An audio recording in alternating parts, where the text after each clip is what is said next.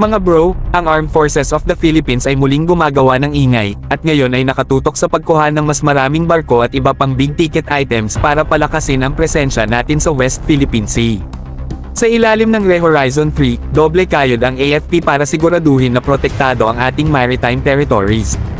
Ibig sabihin, handa na ang Pilipinas na mag-step up at tiyakin na on point ang ating naval defenses.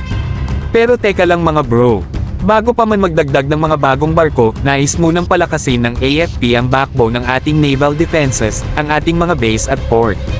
Kasi nga naman, anong silbi ng mga bagong asset kung wala tayong tamang pasilidad para i-accommodate ang mga ito?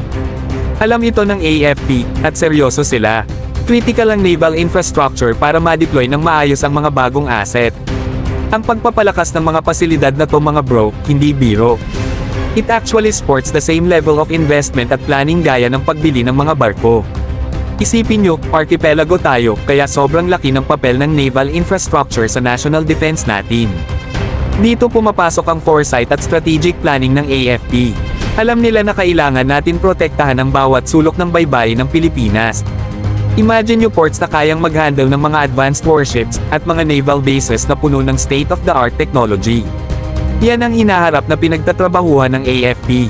Ang mga upgrade na to ang susi para matiyak na palaging nakabantay ang West Philippine Sea. Sa pag-invest sa infrastructure muna, sinisigurado ng AFP na pagdating ng mga bagong barko, ready na sila para magpatrol at mag-defend ng walang sablay.